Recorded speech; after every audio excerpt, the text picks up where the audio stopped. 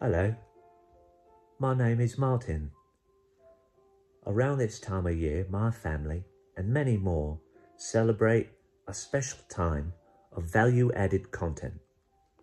I'd like to read you a little poem, beloved of my little group here. It's called Beneath the Planet of Father Nog. Who's that to the kitchen schlepping? Mixer, eggs and brandy prepping, drinks to fill your heads with fog. None but Epping's Father Nog. Spawned on a New Hampshire speedway, born at Christian's greatest need, they threw some virgins in a bog, and Bob's your uncle, Father Nog. He's not what you would call a saint. What he says he is, they ain't. To wipe a link him on your blog returns a 404 for Nog. But in your solo cup he squirts elixir, fine as seraph shirts.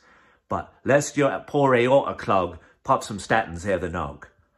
And when you've woken from your bender, gently take that Oster blender, press dice dice four, pulse, enter prog, to cream the brains of Father Nog.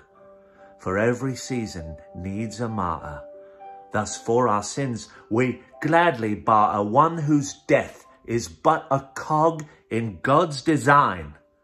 Yea, Father Nog.